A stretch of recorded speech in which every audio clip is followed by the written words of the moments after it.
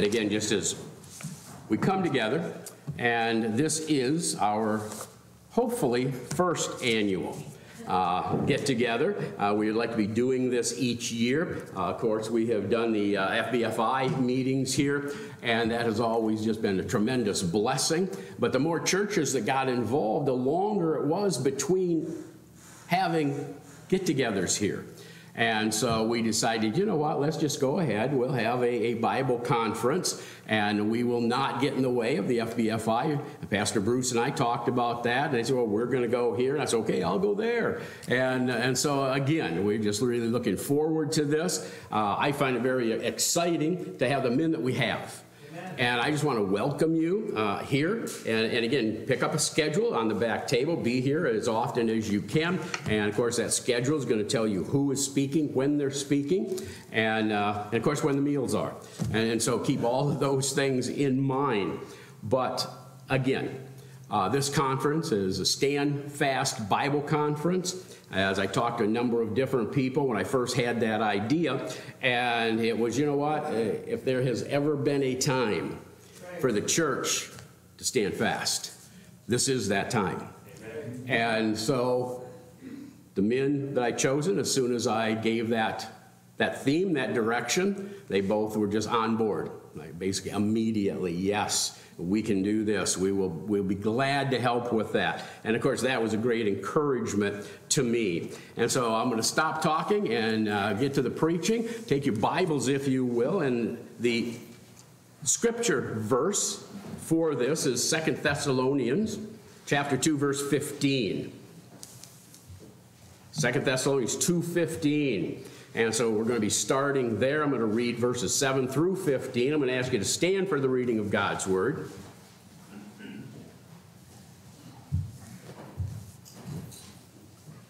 Let me, let me go ahead and, and begin with verse 1.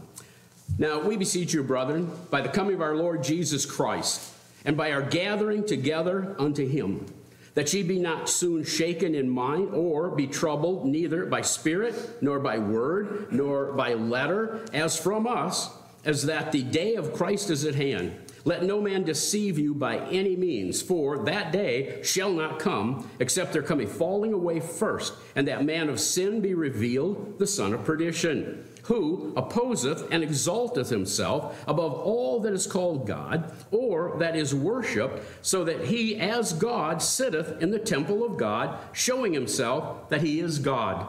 Remember ye not that when I was yet with you, I told you these things? And now ye know what withholdeth that he might be revealed in his time. For the mystery of iniquity doth already work. Only he who now letteth will let until he be taken out of the way. And then shall that wicked be revealed, whom the Lord shall consume with the spirit of his mouth, and shall destroy with the brightness of his coming, even him whose coming is after the work of Satan, with all power and signs and lying wonders, with all deceivableness of unrighteousness in them that perish, because they receive not the love of the truth, that they might be saved. And for this cause, God shall send them strong delusion that they should believe a lie, that they all might be damned who believe not the truth, but had pleasure in unrighteousness. But we are bound to give thanks always to God for you, brethren, beloved of the Lord, because God hath from the beginning chosen you to salvation through sanctification of the Spirit and belief of the truth whereunto he called you by our gospel to be to uh, the obtaining of the glory of our Lord Jesus Christ. Therefore, brethren, stand fast and hold the traditions which ye have been taught, whether by word or epistle. Let's pray. Heavenly Father God, thank you for your word. Thank you for this time tonight. Bless this time that we have. And Heavenly Father God, may you be honored, may you be glorified will we be challenged, heart and mind. And God, we'll thank you for it in Jesus' name. Amen. You may be seated. You know, starting that passage and not reading it all, uh, I guess once I looked at it again, that, that's not going to make sense. We really need to just move through the whole thing. But again, stand fast. Uh, this is that command. We are. This isn't a suggestion to the church. This is a command to the church. How are we to deal with the problems of the world? And in this passage that was just read, there are those who are absolute, complete rejectors of God, rejectors of Christ. They had nothing to do with God whatsoever.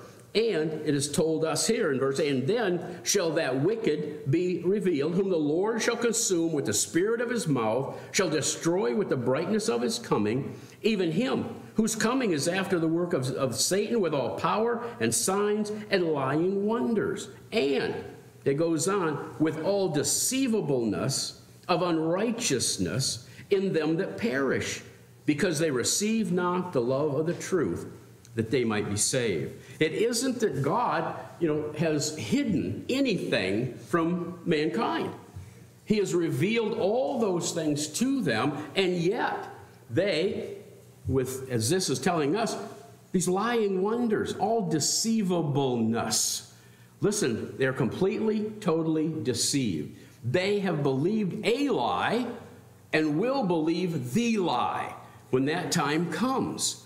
And, and the, the wonder of all of that is when we get down there just a little bit further and it says, but we. Suddenly we shift gears. It's not them, it's not the damned, it's not those who did not believe, although God showed them love and mercy and kindness. Now it's talking about those who did believe. And that glorious relationship that we have now, but my consider the relationship that we will have in the future. The wonder and the glory of eternity with God. But this matter of standing fast, we live in a day and age that, that is a horrible time right now. I'm going to just touch on that a, a little bit, but I also want to back up and do a bit of history. When we are told here to stand fast, we're talking 2,000 years ago. You know, listen, what is going on, the wickedness, the vileness of this world, is nothing new.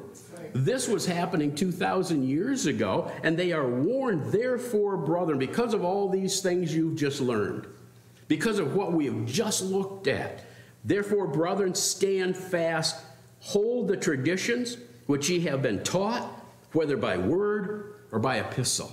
They're talking about the very words of God. And they're talking about the epistles that, again, what? We get those those who wrote the New Testament is a reference here. And, and how did we get them?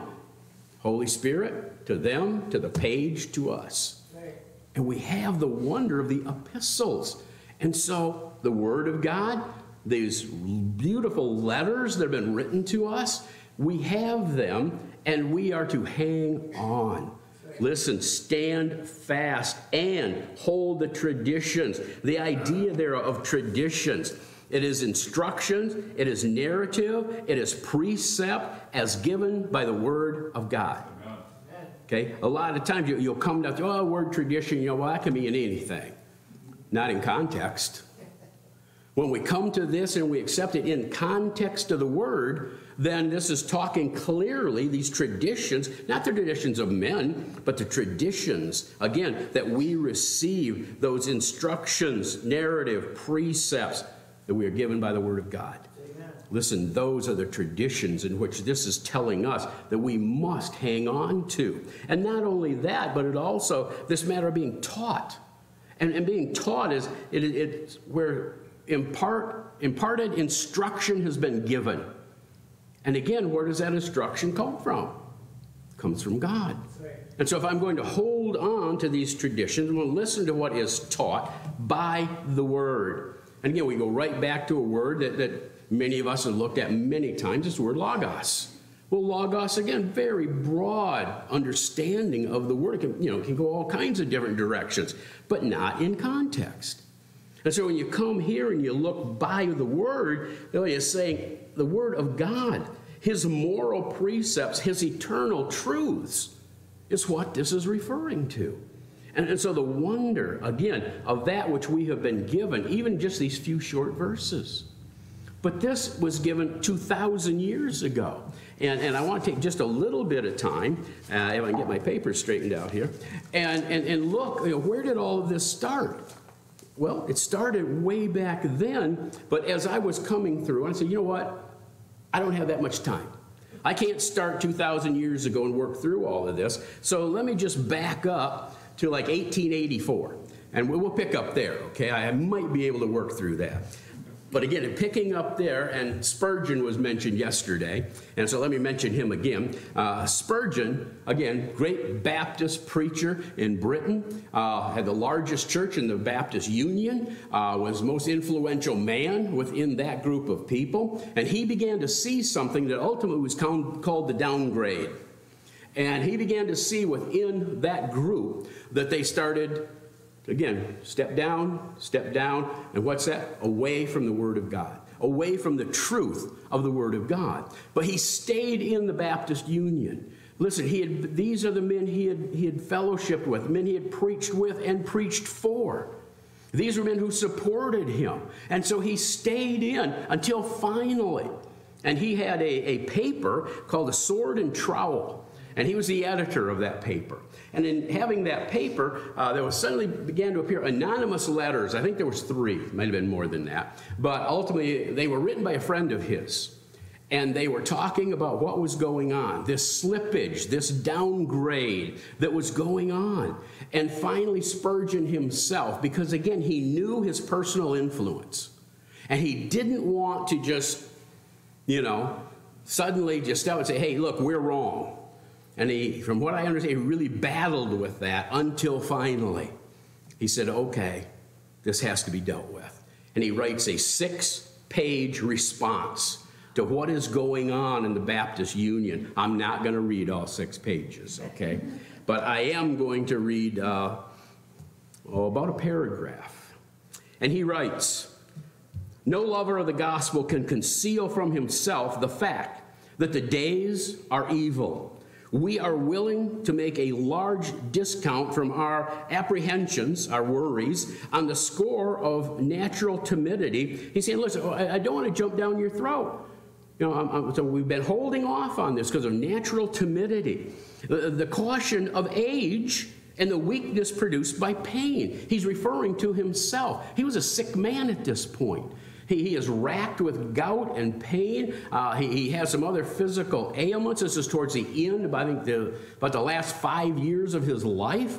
And so he's literally referring to, to himself, this natural timidity, the caution of age, uh, the weakness produced by pain. But yet, our solemn conviction is the things are much worse in many churches uh, than they seem to be and are rapidly tending downward. And again, that's where the, the downgrade, the idea of that began. Read those newspapers, which represent the broad school of dissent and ask yourself this broad school of dissent that he's referring to are those who are dissenting against the Word of God, the traditions that they had all held, the doctrines that they had all held.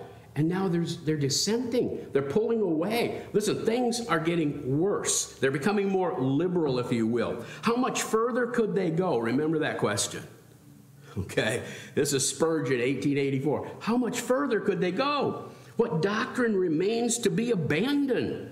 What other truth to be object of contempt? A new religion has been initiated. He is talking among his Baptist brethren, okay? Which is no more Christianity than chalk is cheese. He said, Look, this is not even Christianity anymore. What you people are teaching, it's, it's beyond, again, the pale. And this religion being destitute of moral honesty. My, I'll tell you what, there's some men sitting here uh, who have watched some of our Bible colleges go down the drains, and much of that was what? They were destitute of, of, of moral honesty. You would ask them, you look, or you would point out, you're changing. You're going a direction that is not, oh, no, we're not. No, we're, we're not changing. I want to tell you what, that is a lack of moral character. And they lied to the point, and they finally closed the doors on some of the colleges. And there were churches who followed. Palms itself off as an old faith with slight improvements. Anything sound familiar to you? And on this plea, usurps pulpits which were erected for gospel preaching.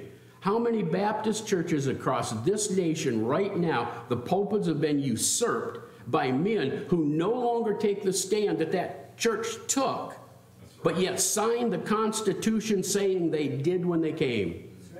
I, want to, again, that, that is a moral collapse. Again, which were erected or gospel preaching. The atonement is scouted. The inspiration of Scripture, derided. The Holy Spirit is degraded to an influence. The punishment of sin is turned into fiction. And the resurrection to a myth. And yet, these enemies of our faith expect us to call them brethren and maintain a confederacy with them. I mean, that, that is one paragraph of six pages. I want to tell you what Spurgeon scorched them and, and they needed it. But listen, we look around us today and we see what is going on today, and we can know listen, this was all started 2,000 years ago and has continued to follow along to the days of Spurgeon. And after that, we move in about 1909, 1910, somewhere around in there. And what? There's the argument between modernists and what ultimately became fundamentalists. And this argument begins. And what was the argument about? Spurgeon asked, How, how much worse can this get? Oh, it gets worse. Because then they were, oh, watering things down a little bit. By this time, they are denying the deity of Jesus Christ. By 1909, they're denying the deity of Christ. And so they wrote the fundamentals, and just basically, uh, the argument uh, that they tried to, again, make sure that everybody understood a true believer, a real church, this is what it believes, and not what the modernists are teaching. And so they began to set out what? The deity of Jesus Christ, salvation, grace alone, through faith alone, in Christ alone, the resurrection of Jesus Christ, that it was in fact real and bodily. It must be set out. Why? Because the others rejected it. The gospel. And what is the gospel? Well, salvation. Well, wait a minute, but exactly what is it? How do you explain it? Is, is it real? Is it eternal? So they also had to argue what is the gospel? They had to argue one God in three people, the Trinity. Listen, all those things had to be laid out, and it, they chose just these simple things to say, this is what a true church of Jesus Christ is and what it represents.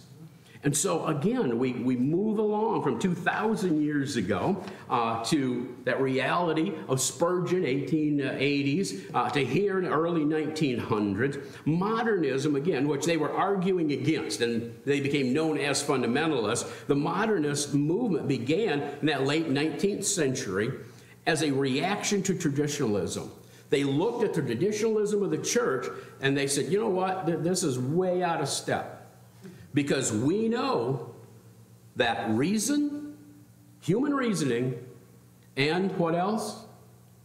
Science. Human reasoning and science. It has the answer and not that antiquated word of God that these men keep preaching Sunday after Sunday after Sunday. Listen, this has to be done away with. Listen, we're modern people. We've had modern educations. Preachers, you got to stop this. And so that, again, that fundamentalist modernist controversy was a theological debate that took place there in that early part of the 20th century. And mostly, again, within Protestantism. And, you know, back they included us in, in, in with Protestants, and I won't, I won't argue about that right now. But again, the controversy pitted fundamentalists against modernists, and each side argued their respect. Honestly, fundamentalism won, but modernism kept hanging on and kept hanging on. And there were churches then, again, that split.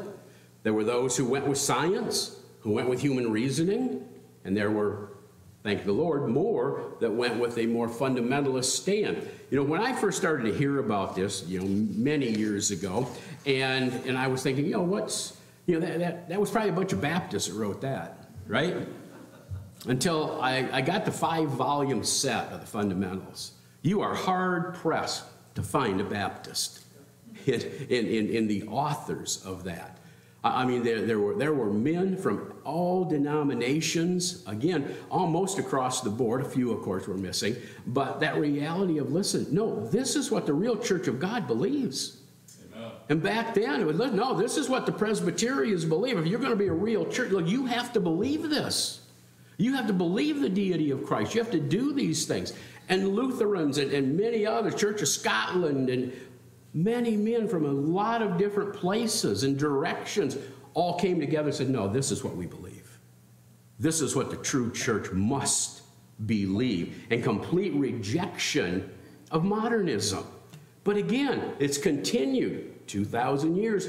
They've been tearing the church down, tearing the church down. Liberals, and I don't care if they're political liberals or religious liberals, liberals are willing to take one bite at a time and conservatives want the whole shebang.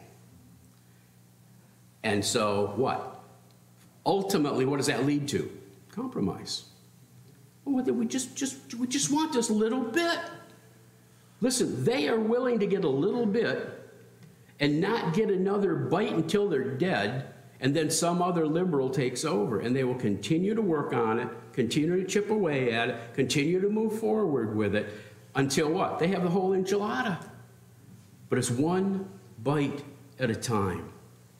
World War I came around, threw the, the whole world again in, into, into a panic. Uh, it was the war to end all wars. This was, this was to, no more war after World War I. But the war ended. Uh, those who were our allies won. And then we went into a time. Uh, prohibition came around about that time and, and threw all the drunks in, into a rage. And the roaring 20s was upon. And now the roaring 20s was a vile, wicked time for all those who were involved in it. And that went on until what? 1929. The Black Friday, the stock market crashed, and suddenly nobody had anything. Listen, that was a time of then some people starting to turn back to the reality of the Word of God. Suddenly they have nothing. Well, what do we do? Where do we turn? And they started to turn to prayer. They started to turn back to God. And then along comes Hitler, uh, the Nazis, uh, ultimately World War II. But the pre war, things were moving along a little bit, coming along a little bit. But I want to tell you what, it was post World War II where we see this little window of time. The men come home from the war, they've been all over the world. They've been all over Europe. They've been in, in North Africa. They have been uh, in the Philippines. They have been in Pacific Islands. They've been all over. And the men come home, especially the believers, and a number of them that, that became believers during the war. And they came home and said, God's called me to go back. He wants me to go to the Philippines. He wants me to go to Japan. He wants me to go to Germany. He wants me to go. And, and they came home and they went to the three year Bible institutes, many of them, like Moody Bible Institute and others. And as quick as they could be trained, they went to the field. And one of the, the greatest missionary outreaches of history began to take place. And so, through that late 40s, all through the 50s, into the 60s, missionary work around the world was an amazing thing. But then the 1960s came. And suddenly, the April 8th issue, 1966, of Time magazine asked the question, big question mark, is God dead? And had their articles concerning, is God dead? After that, and again, much debate, and many people, and college campuses, one of the things that took place, and secular college campuses, while you know things were starting to look pretty good after the Second World War, all the missionary activities, the churches are are just enraptured with what's going on and supporting missions around the world and all of those things, and they're paying no attention to what's going on in the secular colleges. And they are being taught not is God dead, they're being taught God is dead. And that began to filter in not only to the colleges, but the high schools and younger and younger and younger people. In August or April the 13th, 2009, Newsweek magazine, their cover said the decline and fall of American Christianity. Not is it falling, the decline and fall of American Christianity. This is the direction that all of these things have been headed. You know, yes, we can point back and say, well, that, that started 2,000 years ago, but it continued to ramp up and ramp up and ramp up. And then also in the 1960s, 1962, 1963, when ultimately the Bible and prayer was removed from schools by the Supreme Court of the United States. It went through the court systems, ultimately ended up in the Supreme Court. And the Supreme Court ruled eight to one, eight to one, that devotional Bible reading or other government sponsored religious activities in public schools are unconstitutional in the United States of America. One of the worst days in American history. As these realities and looking again at this matter of stand fast, we have a reason to stand fast. It's interesting as we look back at what, what were some of the things that have been said concerning the United States and its relationship to God. Thomas Jefferson wrote, I tremble for my country when I reflect that God is just and his justice cannot sleep forever. I've heard a lot of men talking about we're just about done. God is just about done with us. And Jefferson died in 1826, and he was already saying that justice cannot sleep forever. Also, Abraham Lincoln said, If destruction be our lot, if America is going to be destroyed, if destruction be our lot, we must ourselves be its author and finisher. What is he saying? Listen, if this country falls, if this country is destroyed, it's our fault. We are the ones that will bring it down. Also, uh, Lester Roloff, some of you know Lester Roloff, and, and he was talking about this very thing and his conclusion was this is insanity because we're in sin. It's because of sin. It's because the nation is in sin. That the, the sinful action was going on all the way back then. He died in 82 before all of this other stuff even came to light. The Constitution was made for a moral people, John Adams. The penalty for good men, that good men pay for indifference to public affairs is to be ruled by evil men. Just don't pay attention. Just let it slide by, and we'll end up being ruled by evil men. By the way, that was written by Plato. I'm going to quote somebody I don't believe I've ever quoted before uh, from the pulpit. Old fashioned, spirit filled, Christ honoring, sin hating, soul winning, Bible preaching is the hope of the church. It's the hope of the nation, and it's the hope of the world. Jack Hyles. We have not government armed with power capable of contending with human passions unbridled by morality and religion. Our Constitution was made only for a moral and religious people. It is wholly inadequate to the government of any other. John Adams. Listen, the Constitution that we have is co completely incapable of ruling an ungodly people. And then today, and, and I just, I'm not going to read very many of, of these things because it's just, there's so much of the same. But we now move into transgendering. Say, well, oh yeah, you know, that California, New York, and, you know, no, and our government is, is feeding it. Our government is pushing it. Our government wants to see these things done. It's amazing to me. And did Charles Haddon Spurgeon when he wondered, can, can any more happen? Oh, yeah. I, I, don't, I don't think those men could have even come close to beginning to have an understanding of what was going to happen in the future. Um, again, uh, public schools. Uh, elementary school teachers are putting words on the blackboard like non binary and transgender before they teach the children mathematics. A Minnesota family forced their public school with a lawsuit to teach about transgenderism to five year olds. Um, Illinois, California, Colorado, New Jersey, Oregon require LBGTQ plus instruction in all public schools. And on and on, I have two pages in small print. It, it, it just doesn't stop.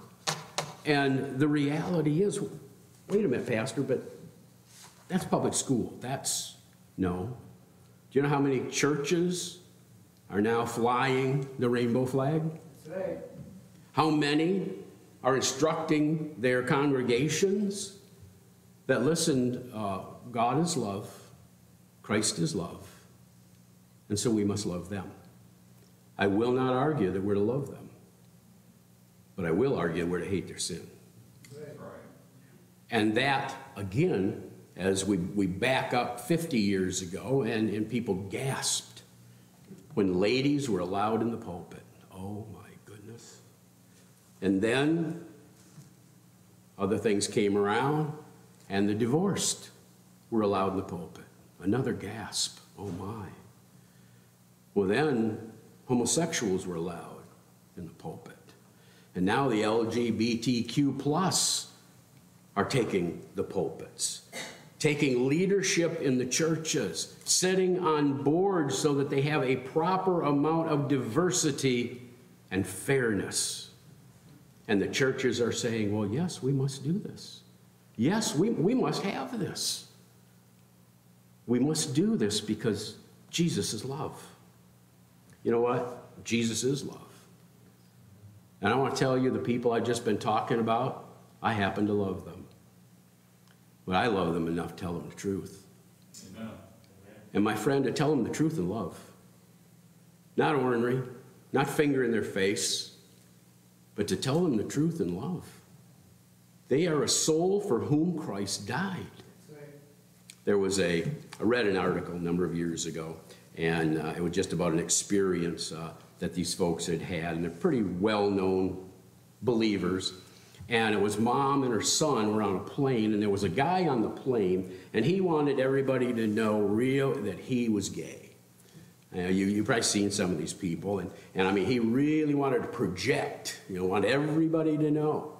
And the son said something, and he said it loud enough so everyone around them could hear, and he said something funny about it, and everybody laughed. And his mother turned to him, and she said, You laugh. He said, God cries. God cries. They're a soul for whom Christ died.